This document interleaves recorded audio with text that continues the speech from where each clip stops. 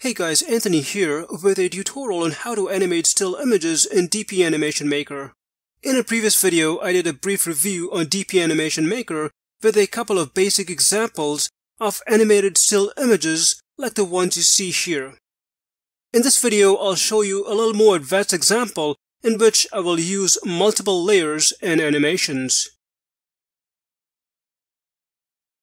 So I've got DP Animation Maker open here, and the first thing we need to do is add an image.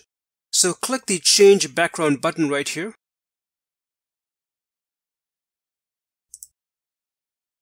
And then choose your image. I'm going to go for this beautiful waterfalls image. So the first thing I'm going to do is apply the water mirror effect under Effect. And you will see it right here. I'm just going to reduce the height by using this double-headed arrow, like so. Next, I'm going to apply the water brush. And you'll find it under Nature Brushes. And then you click the Apply Selected Animation button. Let me just close this for now. And you'll see that the cursor has changed.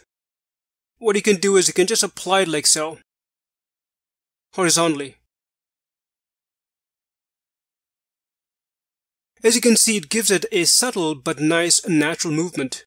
Next, let's animate the waterfalls. Again, I'll open the brushes section and I'll use the stream brush under nature brushes. I'll click apply and then I'll close this box.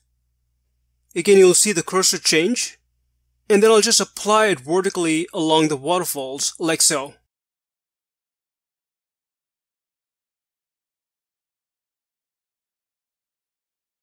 As you can see, it's starting to look pretty good.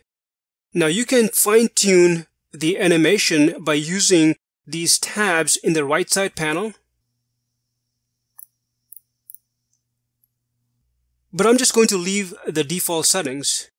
Next, I'll apply the clouds brush under the nature brushes. Again, I'll open the brushes and then under nature, I'll click cloud and click apply. And I'll just apply it to the top right corner like so. It's a bit too gray, so I'll change the color to blue.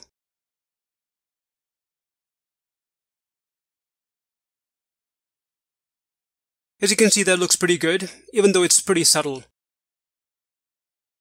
Next, under the animated objects, right here, and under the nature and birds, right here, I'm going to add the flight of birds. I'll click apply. And you'll notice this box right here. I can just move it like so. And I'm going to place it right there. And finally, under the same section, I'll add an animated eagle right here. I'll click apply and then I'll close the box. And as you can see, the eagle's right here. Now you can control the flight path of the eagle under the Boundaries tab. Let me just zoom out from the canvas.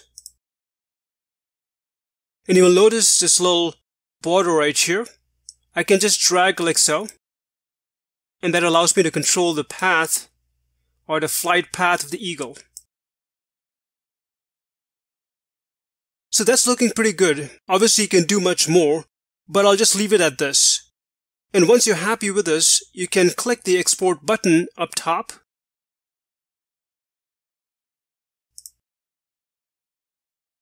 And you can export this animated image as a video or an animated GIF. And this is how it came out.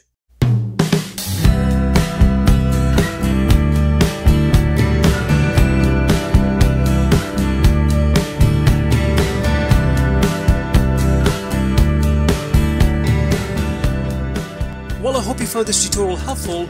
Check the link in the description section to try DP Animation Maker. Also feel free to check my tutorials on my YouTube channel. And thanks for watching!